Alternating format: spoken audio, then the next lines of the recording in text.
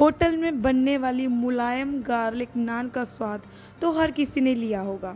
जब काजू, पनीर और दाल फ्राई के साथ इसे परोसा जाता है तो खाने का स्वाद दो गुना हो जाता है।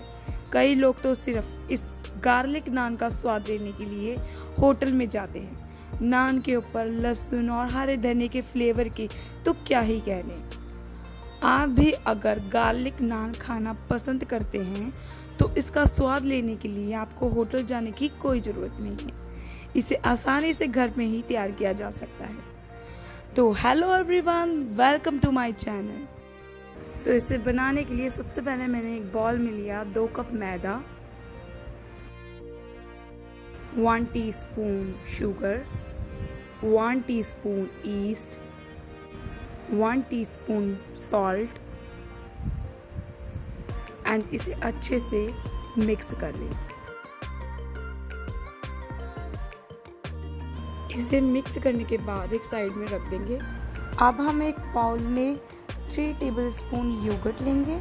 अब हम इसमें ऐड करेंगे two tablespoon vegetable oil इसमें ऐड करेंगे 150 ग्राम वार्म वाटर इसे भी अच्छे से मिक्स कर लेंगे।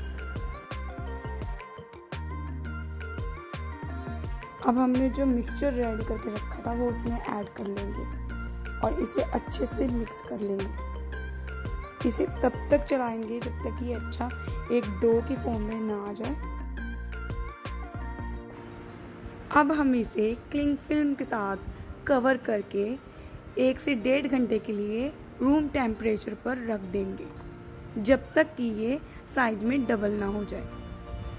अब पूरा डेढ़ घंटा हो चुका है और हमारा दो साइज़ में डबल हो चुका है। अब हम इसे हाथों से अच्छे से गूंद लेंगे। थोड़ा थोड़ा मैदा ऐड करके इसे थोड़ा टाइट कर लेंगे।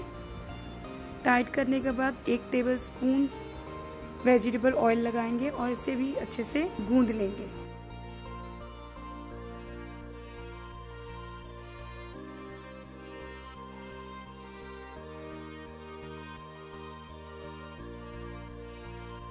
अब हमारा डो तैयार हो चुका है। इसे हम चार पीसेस में डिवाइड कर लेंगे।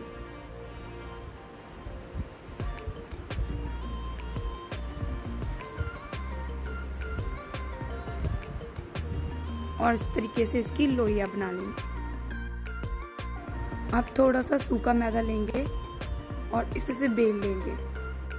चाहे तो गोल भी बेल सकते हैं और आप चाहे तो लंबाई में भी बेल सकते हैं। जैसा आपको अच्छा लगता है वैसा आप बेल सकते हैं। अब मैंने नॉन स्टिक पैन लिया और इसे लो फ्लेम पर पलट पलट कर तब तक पकाया, जब तक कि ये गोल्डन ब्राउन नहीं हो गया।